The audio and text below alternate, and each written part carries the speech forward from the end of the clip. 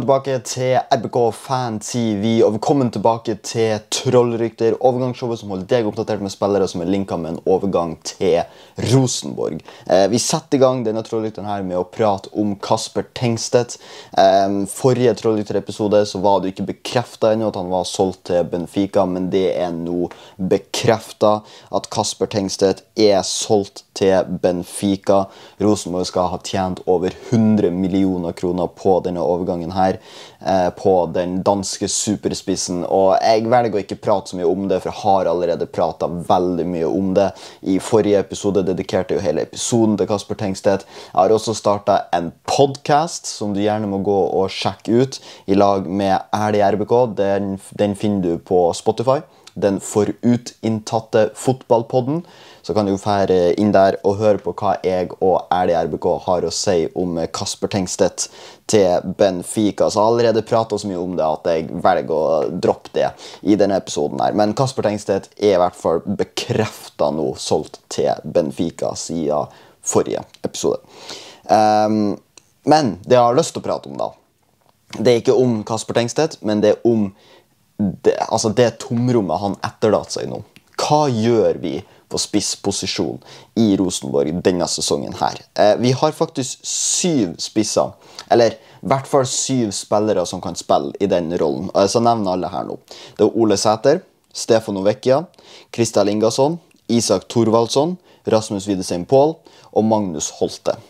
Var det syv? Én, to, tre, fire, fem Vent litt her nå. Én, to, tre Fire, fem, seks. Det var jo bare seks det, var det ikke? Jo, det var bare seks. Hvorfor har jeg skrevet syv? Ja, ja. Vi, vi, har i hvert fall seks spisser. Kanskje syv. Eh, kanskje jeg har glemt noen. Akepeiling. Eh, gjerne rett med i kommentarfeltet. Eh, men uansett. Av de seks spissene som er nevnt der, Ole Sæter, Stefano Vecchia, Krista Lingasson, Isak Thorvaldsson, Rasmus Widesheim Pål og Magnus Holte. Hvem av dem ser du for deg skår 20 pluss mål neste sesong? Um, ingen, etter min mening. Ingen, etter min mening. Kasper Tengsted neste sesong tror jeg hadde skåret Eller denne sesongen, bør jeg vel si. Tror jeg hadde skåret klink 20 pluss mål i Eliteserien.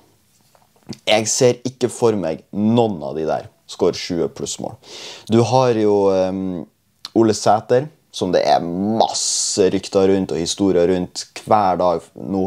Um, han tror jeg nok mest sannsynlig får. Altså, jeg, jeg, blir veldig overraska hvis uh, Ole Sæter er i Rosenborg denne sesongen her. Um, når sesongen starter. Da blir jeg veldig overraska. Um, og jeg mener at det er et lite problem vi kan møte på denne sesongen. her, Det at vi har egentlig ingen klare målskårere i dette Rosenborg-laget. Um, fordi at når vi tenker oss om ja, Hvem er det? Hvis, hvis vi ser på andre deler av banen, har vi noen som kan skåre 20 pluss mål? Nei. Carlo Holse, ja, jeg tror nok han kommer til å skåre 10 pluss mål. For jeg tror han kommer til å bli en bedre målskårer denne sesongen enn forrige sesong. Men det gikk opp i 20 der. Og jeg føler at du trenger en spiss som kan skåre 20 pluss mål eh, for å vinne ligaen. Eh, du så det med Bodø-Glimt. Eh, når de vant i 2020, så hadde de jo Kasper Junker. Jeg er faktisk usikker på hvem de hadde i 2021. Uh, det står faktisk helt stilt. Uh, men uansett, liksom, de fleste, de fleste lagene som vinner ligaen, har spillere som scorer oppimot 20 mål. Um, for eksempel, fjor når Molde vant den, så hadde de jo han uh, Fofana som fort Chelsea. Han lå jo på Tengstedt-nivå. De var jo ganske like gode. Um, du trenger en sånn spiss, føler jeg, for å vinne ligaen.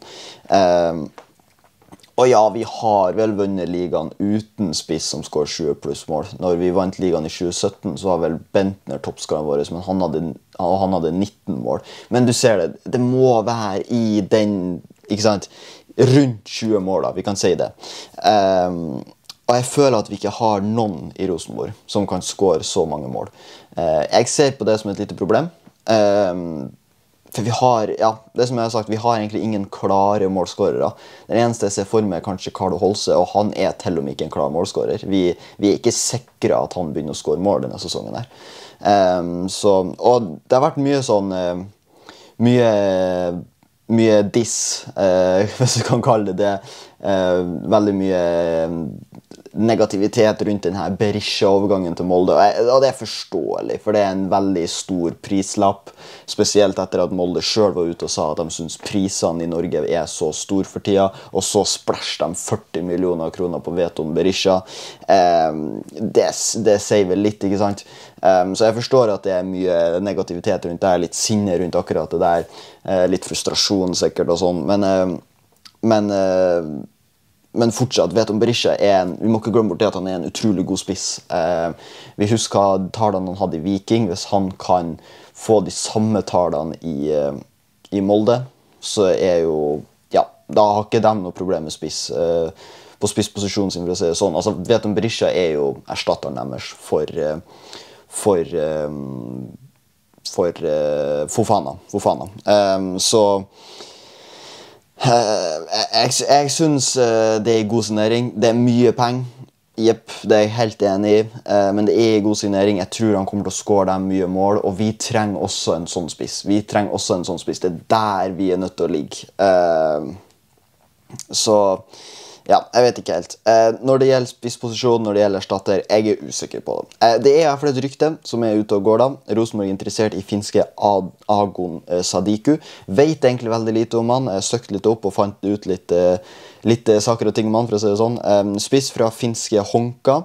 Um, han som visstnok har vært på radaren til Rosenborg uh, når Rosenborg henta Kasper Tengstedt i sommer. Uh, da sto det mellom han og Kasper Tengstedt, så det er jo litt interessant. Uh, kun 19 år, full 7 år i år.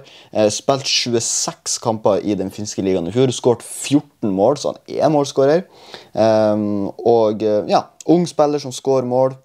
Jeg, jeg, tror han kan bli bra. Hvis vi henter han, jeg tror han kan bli bra. han er uten tvil, hvis vi henter han, den den, klare, altså den klareste målskåreren vi har, spør du meg. da. Eh, og så klart, Jeg glemte jo å nevne det. Stefano Vecchia. Han kan skåre mål. Stefano Vecchia. Men eh, det som er med han, har vi han skadefri gjennom hele sesongen? Det er jeg usikker på. Og hvis han ikke er det, så ender han jo opp på ja, ti mål. Litt over ti, kanskje. Eh, så Ishi Holse-nummer, tror jeg, da. Um, så men ja, uansett. Agon Sadik, eh, Sadiku, litt vanskelig navn. Et, han høres ut som en veldig interessant spiller. Han gjør faktisk det. Uh, det er noe med de 26 kampene, 14 mål. Ja, det er den finske ligaen. Den norske ligaen er mye bedre enn den finske. Uh, men det er noen gode lag i Finland der også. Honka er vel ikke en av de beste lagene. Jeg kan utrolig lite om den finske ligaen, så jeg bare hold my hands up. Jeg kan egentlig ingenting om den. Jeg har hørt om Helsinki. Uh, eh, HJK er de heter. Og det er det. Jeg kan veldig lite om den finske ligaen. Uh, men 26, mål, nei, 26 kamper, 14 mål, altså det ljuger ikke. Uansett hvordan liga det er i. Så det er utrolig, utrolig sterkt av Agon Sadikus. Og hvis vi ender opp med han, så tror jeg så ser vi fornøyd med det. 19 mål, stort videre videresalgspotensial, i motsetning til en viss annen spiss og fortemål. Um, så ja, jeg syns det jeg synes det høres interessant ut hvis vi hvis vi velger å gå for ham. En spiller det har virkelig storma rundt de um, siste ukene her nå, eh, imellom episodene. Og uh, det, altså, det er en tornado eh, med kommentarer, reaksjoner, artikler, klubber som er interessert, trenere, sportssjefer og alt som prater om denne spilleren her. Denne spilleren her er utrolig flink til å sette seg sjøl i sentrum. Tok du den? Det, er selvfølgelig Ole Sæter eh, som vi prater om. Eh, så Siden siste episode så har Rosenborg kommet med et nytt kontraktstilbud til Ole Sæter. faktisk. Eh, Sæter har avslått, eh, avslått dette budet eh, nok en gang, da, har jeg valgt å skrive her. fordi at eh, ja, jeg, jeg, tror det her er det tredje tilbudet Rosenborg kommer med, og dette er det tredje nei-et fra Ole Sæter. Eh, så nok en gang så er ikke Sæter fornøyd med eh, den, de betingelsene eller pengesummen eller hva man skal kalle det, som Rosenborg kommer med. Eh, og jeg quote det Mikael Dorsin har sagt til Nettavisen. Vi kom med et nytt tilbud. Vi solgte en spiller altså Kasper Tengsted til Benfica, og fikk litt ekstra økonomi. Vi fikk en følelse om at vi forhåpentligvis ble enige, men det ble vi ikke. Sånn er det iblant i denne bransjen, uttaler Mikael Dorsin til, nett, til Nettavisen. Um, så um, Dorsin var til og med positiv på at nå har vi en avtale her. Vi har til og med fått inn litt ekstra penger fra Kasper Tengstedt. Eh, vi vet jo det, vi solgte han for over 100 millioner norske kroner. Vi har mer penger på bok her nå som vi kan bruke. Og Rosenborg altså, ble faktisk enige om at vi skal faktisk bruke noe av det her på Ole Sæter. Eh, de kommer med tilbudet. Vi er positive. Dette får vi til. Dette er et mye bedre tilbud. Vi har mer penger å bruke her nå. Eh, Ole Sæter ser tilbudet, og nei, det skjer ikke. Eh, og det er, det er, litt sånn vanskelig å sitte her og reagere på det, for vi vet jo ikke hva pengesummer det er snakk om.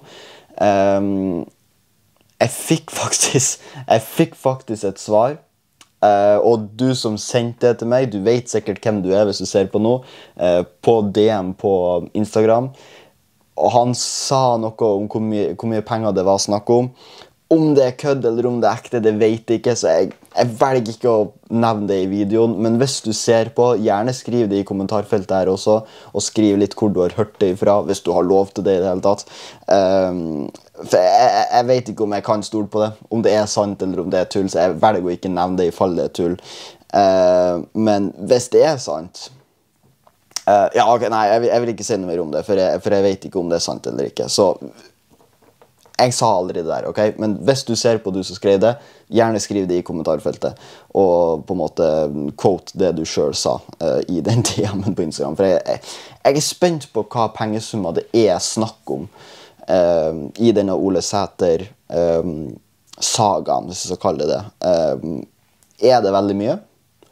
Er det veldig lite? Altså, hvis vi, hvis vi får høre pengesummen, er det sånn at vi da tenker oi shit, ok, Ole Sæter har jo rett, han fortjener mye mer? Eller er det sånn at hvis vi får høre pengesummen, kommer vi da til å si wow, ok, Sæter, hvorfor tar du ikke det der? Hva, hva mer vil du ha? Ikke sant? Så det er liksom vanskelig for meg å sitte her og kommentere rundt det og reagere på det, for jeg vet ikke hva pengesummer det er snakk om. Jeg kan liksom ikke sier om han vil ha, om det han krever, er for mye. For jeg vet ikke hvor mye det han krever. Eh, men når til og med Dushin kommer ut og sier at vi er positive på at du får til en avtale nå, og fortsatt så sier Ole Sæter nei, så kan det jo bety at vet du hva, det er en ganske god pris. Eh, og fortsatt sier han nei. Og jeg tipper at med den nye prisen så er han sikkert en av de bedre betalte spillerne i Rosenborg. Eh, det ser jeg for meg. Um, men fortsatt sier jeg nei, altså. Um, så det er litt rart. Um, jeg syns det er veldig rart. Uh, men ja. Uh, ifølge Nettavisen, uh, det var også her Mikael Dushin sa det her om Kasper Tengstedt og i penger og alt det her som jeg leste opp i stad.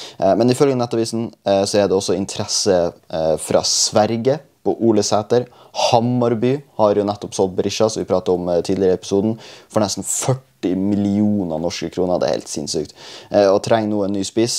Eh, og de skal ifølge Nettavisen følge Sæter-saken tett. Så Sæter kan ende opp i Hammarby. Først og fremst vil jeg si Sæter er ikke en Hammarby-spiss. Jeg ser mye svensk fotball, og jeg ser veldig mye Hammarby. Det er en av eh, si, favorittklubbene mine i, eh, i Sverige. Um, og Sæter er ikke en Hammarby-spiss. De har til og med Marti Sifuente som trener. Jeg tror han fortsatt er der. Det var noe rykte om at han skulle ut, hvis jeg ikke tar helt feil. Jeg har egentlig ikke fulgt så mye med i vinter, eh, men jeg tror han fortsatt er der. Og hvis de fortsatt har Marti Sifuente som trener, um, og og Ole Sæter seg inn der og spiller spiss i Marti Sifuentes Tiki Taka Hamarby Nei, nei, nei, nei, jeg ser ikke for meg det. Jeg ser ikke for meg Ole Sæter i et Tiki Taka-system. Uh, han er ikke en sånn spiss. Han er en veldig sånn uh, hva som sier, Han er litt sånn feil, litt feil å sammenligne med han, men han er litt sånn Haaland-spiss. ikke sant? Eh, han har egentlig ikke de her gode touchene og pasningene og flikkene. og alt sånt her. Han er en veldig målskårer. Det, det, det, sier pang, og så skårer han, liksom. Eh, på én touch, eh, noen gang to. hodet, ikke sant? Um, og hva nå enn kroppsdel han måtte bruke for å få den ballen i mål. ikke sant? Um, sånn spiss er Ole Sæter. Og det passer ikke inn i et tiki-taka Hammarby. eh, det sier deg. Eh, Men hvis Hammarby er interessert i Sæter, selvfølgelig, jeg tror, eh, tror dere kan få han, for å si det sånn. Og det er jo fint at vi får en liten pengesum for han, for det har jeg jo faktisk tenkt på at hvis vi skal selge Ole Sæter, så er det jo veldig Altså Hvis vi ikke blir enige med Ole Sæter her nå om en ny kontrakt, så er det bare å selge han med en gang. For hvis ikke, så går han jo gratis til slutten av året. Og jeg tror vi kan få litt penger for Sæter. Han skårte jo faktisk, var det 13 mål forrige sesong, eller noe sånt. Eh, så litt penger tror jeg nok, vi kan få for Ole Sæter. Men at han er noe 10 millionmann, mm, mm, det er han absolutt ikke. Men, eh, men det er spennende å se på Ole Sæter. Han skaper i hvert fall overskrifter. Det som jeg sa, Han er flink til å sette seg sjøl i sentrum. ikke sant? Så um, ja, Det er spennende å følge med på Ole Sæter. Det, det er ikke kjedelig å følge med på Sæter. i hvert fall. Det skal han ha. Uh, så blir det veldig spennende å se hva som skjer. Om han får en ny kontrakt i Rosenborg, eller om han plutselig signerer for Hammarby. Eh, men eh, Hammarby, styr unna. Styr unna. Jeg følger mye med på dere. Dette er ikke spissen dere er ute etter, tror ikke jeg. Og hvis plutselig han fælt til Hammarby og skårer masse mål, da er det bare å gjøre sånn og si 'jeg tok feil'. Men jeg tror eh, Jeg tror ikke han passer inn i Hammarby i det hele tatt. Eh, men Hammarby er en utrolig kul klubb med helt fantastiske fans, så han kommer til å kose der hvis han er ferdig. Det er det ingen tvil om. Eh, Så ja, Det blir spennende å følge med på Ole Sæter framover. Eh, Vi har litt annet nytt også. Eh, Erlend Dahl Reitan har blitt eh, utnevnt ny Rosenborg-legende av eh, Rosenborg-fansen. Eh, det var en sak i Nidaros. Jeg har ikke Nidaros, jeg fikk ikke lest saken, men jeg, men jeg fikk liksom høre litt hva andre fans hadde hadde skrevet og sagt, og sånn her, så jeg tror jeg forsto hva som hadde skjedd. Um, Dahl Reitans agent visstnok har ringt han og fortalt om at det var en nederlandsk klubb som var interessert i å kjøpe han, og jeg mener dette var før han signerte kontrakten sin med Rosenborg. Um, etter fem minutter så skal Reitan ha lagt på. eh, og han skal ha sagt til adressa at han ser ikke for seg, for, for seg seg sjøl i en annen klubb enn Rosenborg. Um, og det så klart er utrolig populært blant Rosenborg-fansen. Eh, Erlendal Reitan. Eh, det er sånn man blir en legende i en fotballklubb hvis han nå fullfører karrieren sin i Rosenborg. Legendestatus klink hvis han kan få med seg noen par trofeer også på veien. Eh, det er sånn man blir en legende. Eh, og det er jo ganske store motsetninger til Ole Sæter, da. For, eksempel. eh, for jeg er sikker på at i den nederlandske klubben så hadde han kommet til å fått en ganske solid lønn. Bedre enn det han har nå, tipper jeg. Eh, og fortsatt så velger han å si nei.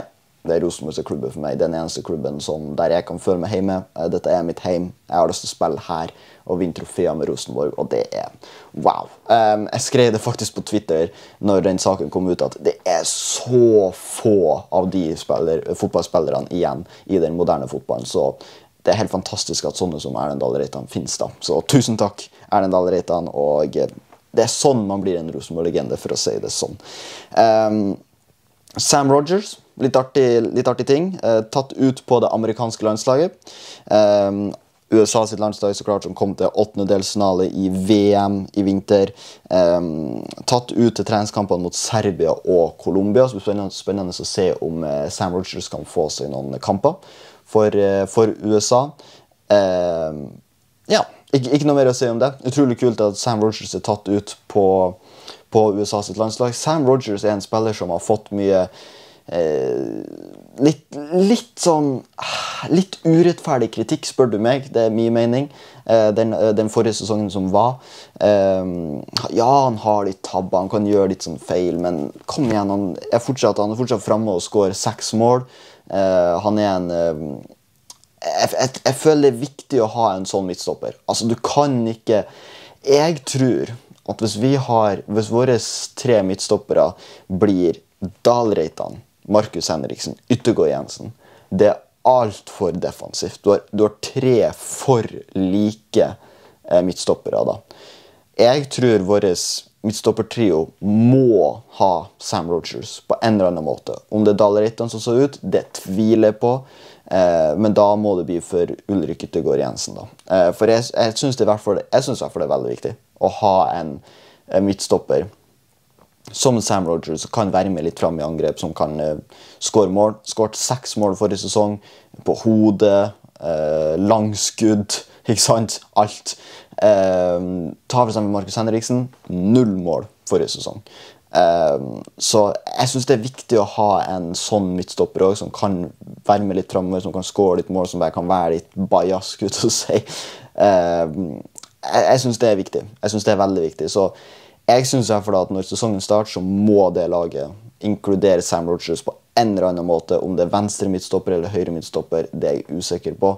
Uh, men uh, ja, spennende å se. Jeg tror faktisk det var uh, Rekdal som sa det at Sam Rogers er vel mer vant med å spille på høyre midtstopper enn venstre. Så han har faktisk vært litt ute av posisjon forrige sesong òg.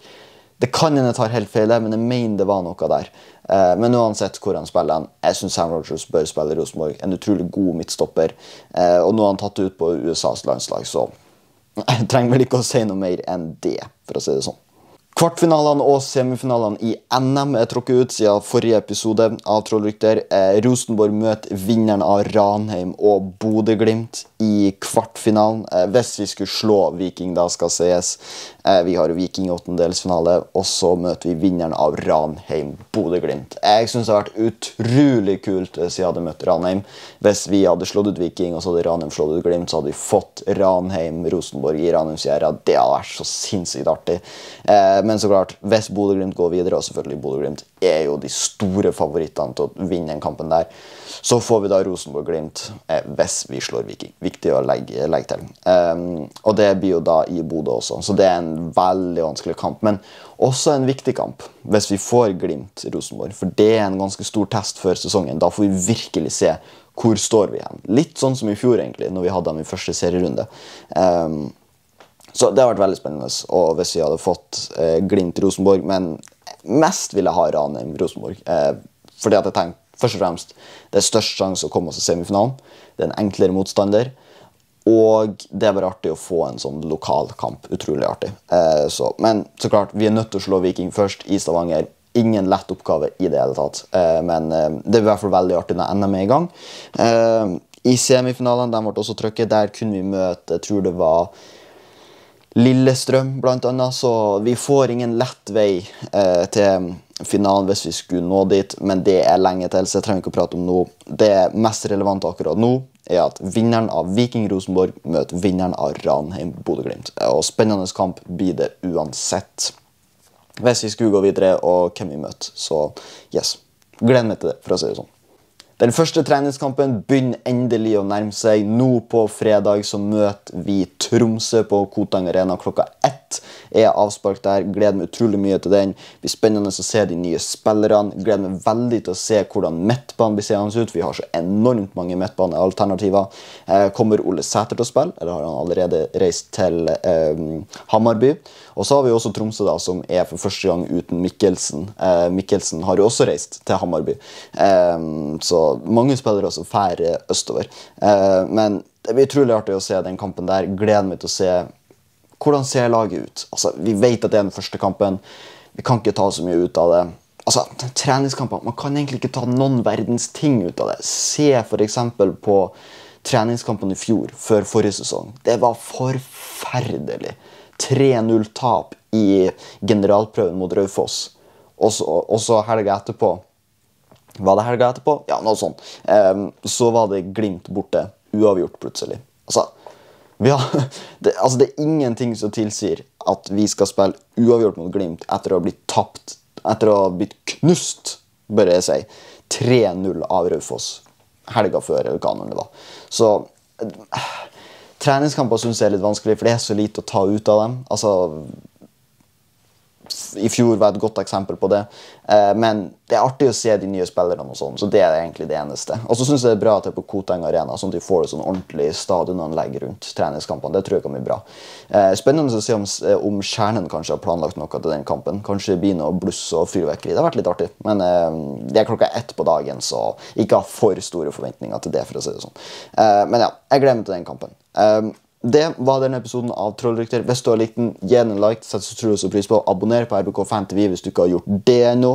Um, og yes, um, skriv som alltid dine kommentarer, uh, hva du tenker rundt alt jeg har pratet om i denne episoden her. Og så snakkes vi i neste episode av Trollrykter.